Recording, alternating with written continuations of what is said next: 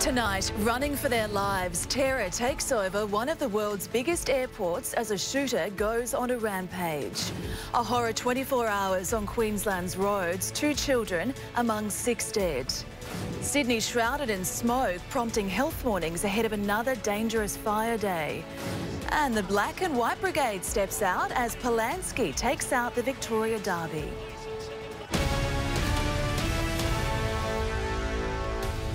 This is 10 Eyewitness News with Hermione Kitson. Good evening. One of the world's most secure airports was sent into lockdown today when a lone gunman entered Los Angeles International with a semi-automatic rifle and began firing. Terrified passengers, many of them Australian, ran from the shooter who killed a security agent and wounded several others. The 23-year-old culprit is in a critical condition after being shot by the very security agents he was attacking. 10's US Bureau Chief Emma Dallimore reports.